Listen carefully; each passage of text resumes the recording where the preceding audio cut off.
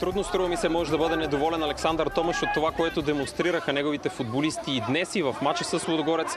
Господин Томаш, поздравления за успеха срещу ЦСК в столицата. Със сигурност изключително труден и ако е без съмнение, че Локомотив Пловдив категорично надигра ЦСК през първото полувреме, какво ви помогна през втората част да поведете в резултата, да ви бъде изравнено, но отново да намерите сили да стигнете до трите точки?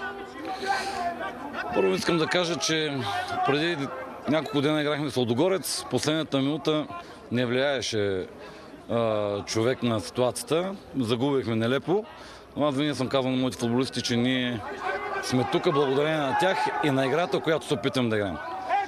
А, не може от татъка е на едно, днеска вкарваме гол, сега пък влияело.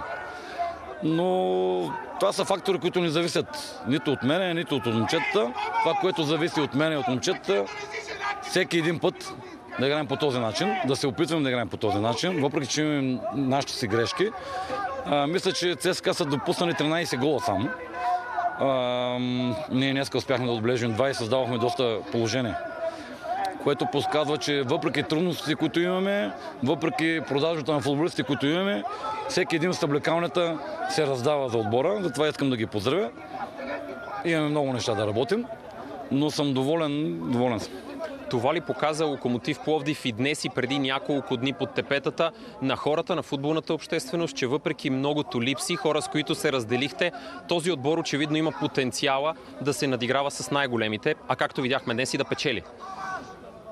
Вижте, аз винаги съм бил привърженик на футбола. В момента, в който тръгнеш да лъжиш футбола, рано или късно се връща. Повтарям го постоянно с тези футболисти. Ние сме тук благодарение на играта. И трябва да се опитам да играем футбол. Днес това, което казах, казах, че мечтите започват, когато страха приключи.